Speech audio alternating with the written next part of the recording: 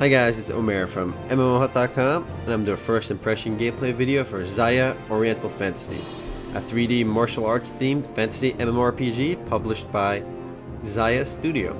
Now I'll spend about 5 to 10 minutes running around checking the game out and making some quick comments. If you guys want to play Xiah online or just learn more about it, check out our full review on MMOHut.com on link on the right sidebar. Now I like this login screen already, so we're off to a good start guys. Let's log on to the global service over here. Alright, let's go click our create character button. And let's see what the game has to offer. Our first class, whoa, this music reminds me of Final Fantasy VII for some reason, the Shinra music, but maybe that's just me. Our classes include Swordman. No guys, we don't have swordsman, we have Swordman. He's, and unfortunately, it looks like the classes are gender locked. But we have Swordman, Mage, Warrior, Ghost Fighter, which I'm going to say is a Rogue, and Swordman. Yep, so we got four playable classes over here. And they are gender locked. And I'm to go play a Swordman. Not a Swordsman, guys. A Swordman. I'm to name myself appropriately. Swordman. And you can see the character it says create over here, but it is spelled incorrectly, which is uh, awesome. And it just disappeared. Awesome. Let's go make another character. It's gone. The create button is gone, guys. And I can't even name my character now. Awesome.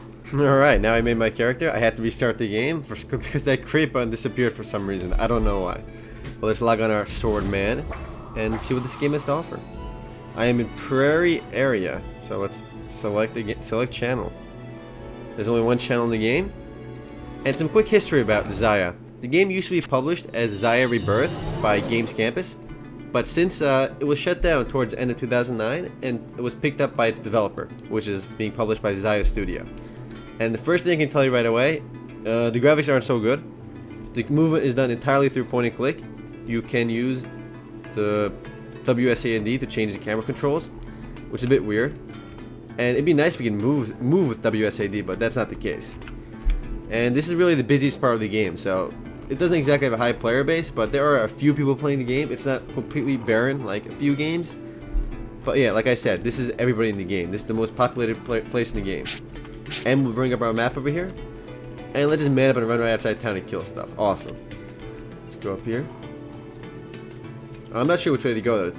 Portal or portal? There's two portals over here. Top or bottom? I'm going with top. I am in prairie area. And again, you move entirely with the point and click over here. And as a warrior, wow, swordsman, my bad. I only have 8 HP, wow. So for a total of 4 playable classes, the, you know, the game has 4 playable classes, and unfortunately no character customization. And I can see this being a problem right away. Movement is really slow. I feel like my character should just uh, pick up the pace a little bit and, you know, give it the whole, give it the jog.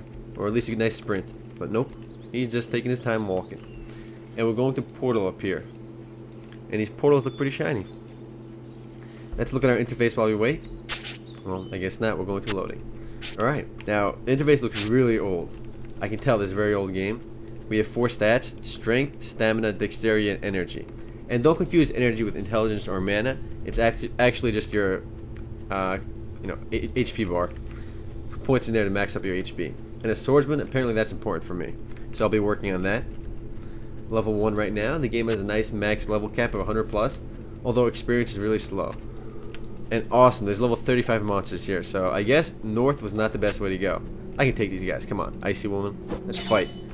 And I had 8 HP, he did 365 damage, so he one-shotted me. Awesome. And I guess I'm blacking out right now. Whoosh. Where will I res? I should go back to town, I imagine. I imagine incorrectly. I am exactly where I died. So I guess this game is pretty generous with your death. Because you just show up where you died, apparently. Alright, good thing I have one of these homecoming scrolls or whatever they were. A lot of games offer that, that's why I checked right away. And let's go the right way this time. Let's go to the right portal. So guys, don't go north. You'll get certain doom if you go over there, at least early on. And the south portal is the way to go. Now the game has some crafting options as well. There's actually the quarry over there, which I imagine you can gather resources in. It is called the quarry after all. Almost same. So the game tells you what level the monsters are. He's almost the same level as me. I'm level 1, so how is that almost the same? It is the same. Uh, looks like as I get experience over here, I'm to get new quests. I'm to close that for now, though. You can see on the bottom over here, I have two XP meters over here. I'm level 2. Let me kill this guy over here. And you can see my experience meter move as I kill monsters. The top one is actually my regular experience bar, and the bottom one is my skill XP bar. As the skill XP bar fills up, I'll have access, I'll get pretty much skill points or training points I can distribute to various skills in the game. And this fills up a lot faster. The top one fills up pretty slowly.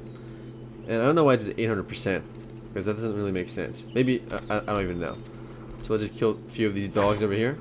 Prairie guide dogs, or portal, portal dogs, or whatever they are. And I do like it that they respawn right away. At least I thought so over here. Nope, they're gone. Poor dog. There we go. I'm gonna kill a few more over here. Now I have energy circulation. I need three energy and three training points. I have seven training points.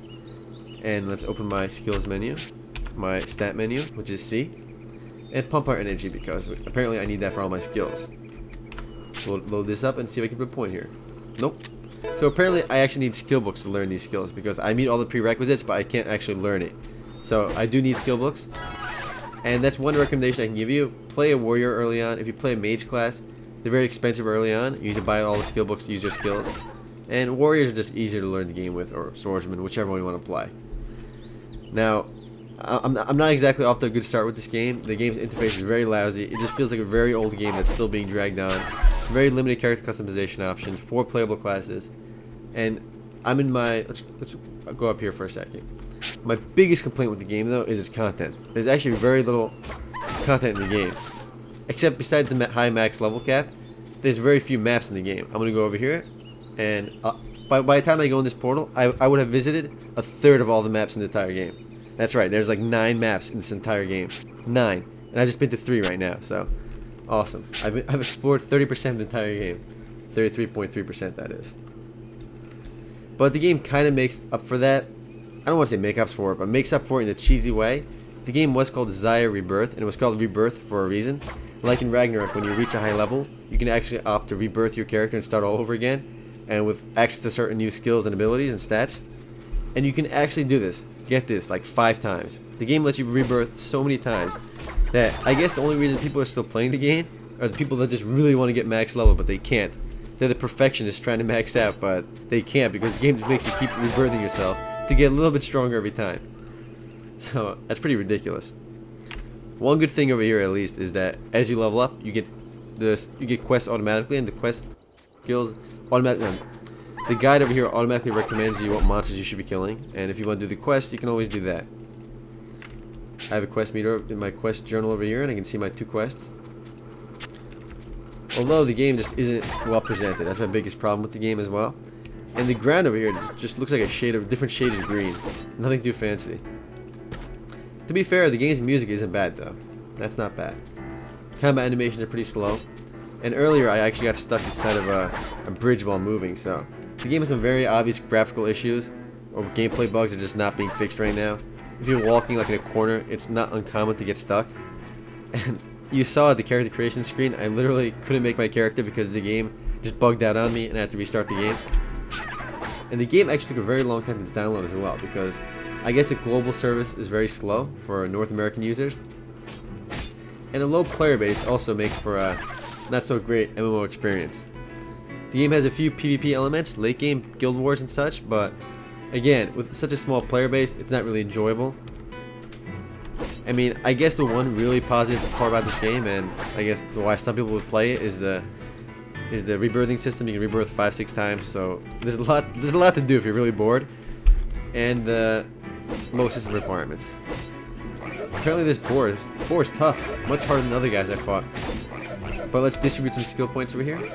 And it's funny because the game calls skill points stat points, and your training points if they, just, if they just switch training and skill, it would make a lot more sense, because skill points should be used for skills, while training points should be used for stats.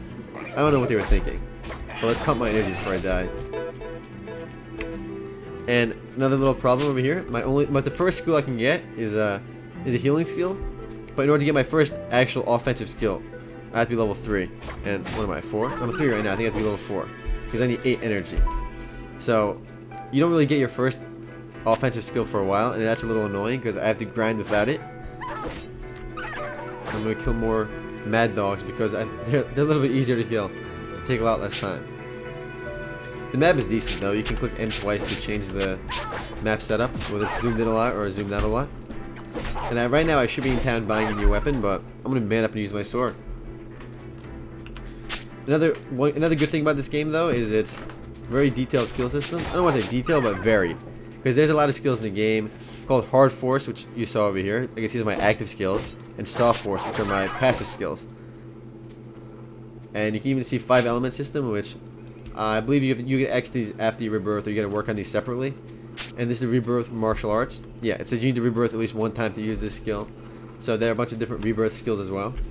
So there's a lot to do if you're willing to put in the time to get there, but a buggy gameplay, limited content, poor customization, and a lot of problems plague the game. And personally, I would try something else, but hey, if you're if you're just really bored and want to try something, I guess you you can give this game a try.